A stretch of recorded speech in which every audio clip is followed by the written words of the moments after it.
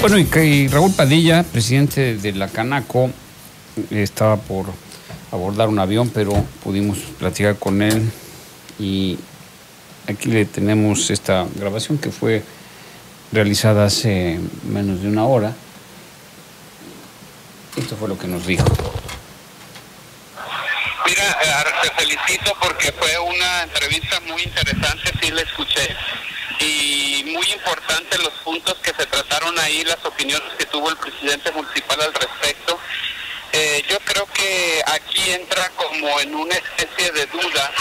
por la opinión que tiene eh, la población y la opinión que por su parte tiene el presidente municipal de los hechos ocurridos después de lo del huracán o durante el huracán también. Creo que el mayor amor eh, de la sociedad y el que yo he sentido como presión por parte de los afiliados, eh, más allá de que si estuvo el presidente municipal en Los Cabos o no estuvo, es eh, la percepción que la gente tiene de la atención que se les brindó respuesta al llamado de la inseguridad porque la gente eh, ha sentido que no han tenido aún, incluso muchos de ellos aún no han tenido la respuesta o el apoyo que las dependencias gubernamentales deben de tener. La primera impresión que se causó muy negativa por parte del municipio, pues como todos sabemos, fue la falta de seguridad, el no haber aplicado bien los protocolos de seguridad y protección a la población, el hecho de que las casas que fueron saqueadas o que fueron afectadas por gente que intentó robar, como es la percepción de la gente que yo a este momento pues no tengo en mis manos ninguna denuncia pública o ante las autoridades por parte de personas, pero sí tengo de afiliados que han estado muy consternados por lo ocurrido porque recordemos que muchos de los negocios, no decir la gran mayoría de, de muchos de los que están afiliados a la Cámara, pues perdieron todos sus inventarios, y no solamente los inventarios, los daños materiales,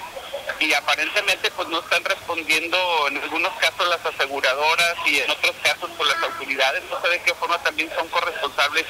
en esto ya que no se aplicó ninguna método o ningún código de seguridad que pudiera protegerlos. Tengo algunos de los afiliados en realidad muy, muy molestos que de hecho tienen una presión sobre mí eh, bastante fuerte porque ellos sienten que el, municipio no actuó de la forma adecuada, la seguridad por parte del Departamento de, Policía y Tránsito no actuó y en algunos casos incluso también han hecho la observación que estando miembros de la Armada ya en esos momentos atendiendo algunas de los establecimientos no aplicaron ninguna ninguna muestra de, fuerza pública o seguridad para que se detuviera esto, al menos intentando a quienes se vieran los grupos que fueron los organizadores o los que presionaban a la gente a que cometieran estos actos delictivos para que con el precedente de al menos de uno vieron que no iba a ser tan fácil lo ocurrido. El hubiera no existe, Armando. Yo creo que aquí tenemos que hacer el clamor ciudadano y que quede un precedente de que no se debe de permitir que siga ocurriendo esto. Un llamado al municipio a, través de la presidencia municipal, Cabildo y las distintas dependencias de que no pueden dejar desamparada a la población en situaciones como esta. Muchos de mis afiliados y de los de la mesa directiva que tuvimos en la sesión, ellos explicaban sus personales impresiones de cómo, incluso habiendo uno de seguridad o dos, cuando vieron que se estaba acumulando la gente, no llamaron a que fueran otras, uh, otras personas de la fuerza pública a apoyar. Al contrario, solaparon a que la gente continuara ocasionando los disturbios y que también algunos de los policías fueron eh, eh, incluso o fueron señalados en ese momento como causantes de los daños que, que se ocasionaron al permitir que ocurriera, pero que también ellos participaron en los saqueos. Yo creo que esto es una cosa muy importante, no podemos ponerla como una causa uh, imputable al, al, siniestro de Odil, ni podemos decir que fue un acto vandálico generalizado. Yo creo que la corresponsabilidad de las autoridades debe de ser clara en esto. Yo no soy quien para hacer señalamientos de cuáles son las culpas, las penas para ellos, pero yo sí creo que tenemos como ciudadanía la responsabilidad de hacerles el señalamiento de que está mal de que se están mandando mensajes eh, negativos a la sociedad, de que cada vez es más permisivo el hecho de que pueden actuar sin una sin una actuar de la autoridad para que haya una pena, una sanción hacia esas personas que cometen los actos delictivos. Más allá de la parte educativa que también muchas familias transmitieron a sus hijos, porque recordemos que muchos de los padres llevaron a sus hijos y ellos participaron en los saqueos. Esto está permitiendo que los padres de familia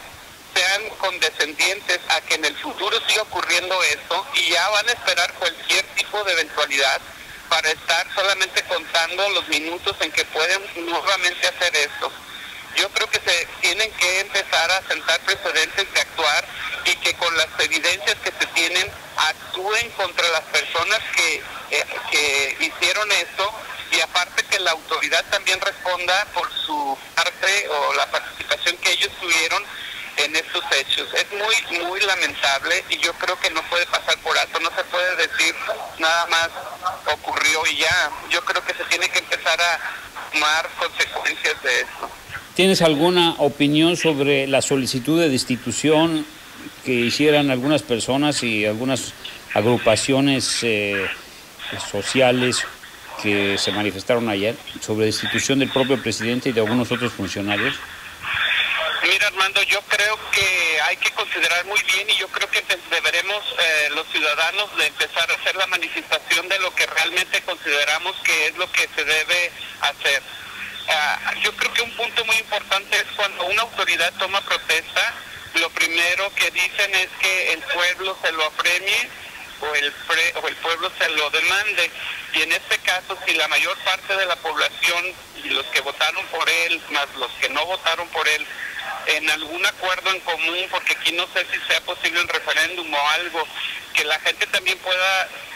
ser partícipe de esto, porque yo creo que el cabildo no va a ser solamente la parte que podría determinar esto. Yo creo que la población en general, si vemos que es la mayoría la que decide que no debe de continuar, yo creo que hay que tener la humildad para saber cuando el pueblo no está satisfecho con nuestro actuar y, y proceder si por alguna razón se ve que la mayoría sigue pidiendo que continúe, pues debería de continuar en su puesto. Aquí eh, no queda de otra más que es la impresión generalizada de los que están demandando que no esté, no es un punto de vista particular, no creo que seamos solamente uno los que estamos demandando que se haga justicia en lo que tenga que proceder, eh, yo como presidente de Canaco al frente de un organismo tan importante como este, donde son cerca de 5 mil los que participan ahí, yo tengo una presión muy fuerte por varios, varios de los afiliados que me han estado llamando diciendo qué se está haciendo por parte de la Cámara para reclamar que esto no continúe, más allá de que permanezca o no el presidente municipal a cargo de esta administración pública. Muy Raúl, pues muchas gracias. ¿Algo que quieras finalizar o añadir? Pues mira, Armando, al respecto yo creo que todo, mm, nosotros como Cámara pues seguimos trabajando, esto, esto no se puede detener. En este caso, yo ahorita estoy tratando de viajar a la Ciudad de México, bueno, voy para allá porque estamos queriendo traernos eventos masivos que traigan gente, que se vea que los cabos seguimos imparables y que seguimos luchando y que seguimos trabajando por la comunidad. Es lo más importante, el seguir adelante, el movernos y el seguir con la operación y el crecimiento de nuestro destino.